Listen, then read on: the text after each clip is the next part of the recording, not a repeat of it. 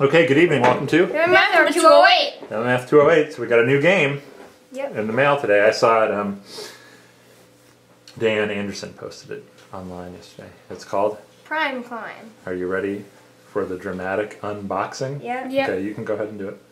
Dun dun dun. Done.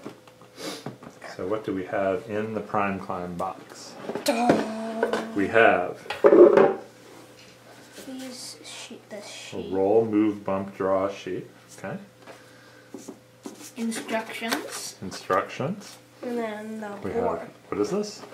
The Ooh, board. the Prime Climb board.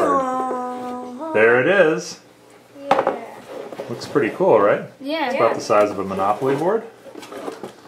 And then we have some Some game pieces.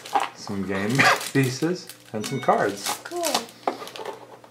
Are you guys excited to give this game a try? Yeah. Okay, what do you think it's about? Because I don't have any idea. Looks from the title, it seems like it's about primes. It's yeah, about climbing into the center to 101. Okay.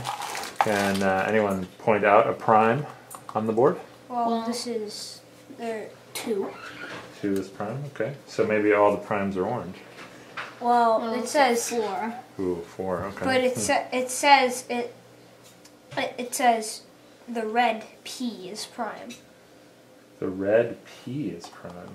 These r- entirely red are prime. Well, but but two and three. Hmm. Huh. That means they're ju- they're just two. Two, three, five is blue. Seven is purple. Maybe it's just for those. And maybe it's like the multiples. Hmm. See, like 15 is three green and five blue. Oh, very interesting.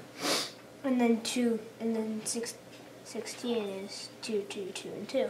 Okay. Well, guys, excited to give this game a try? Yeah! Okay, I guess we got to read the directions and uh, we'll give it a shot. All right. Yeah. Yep. All right.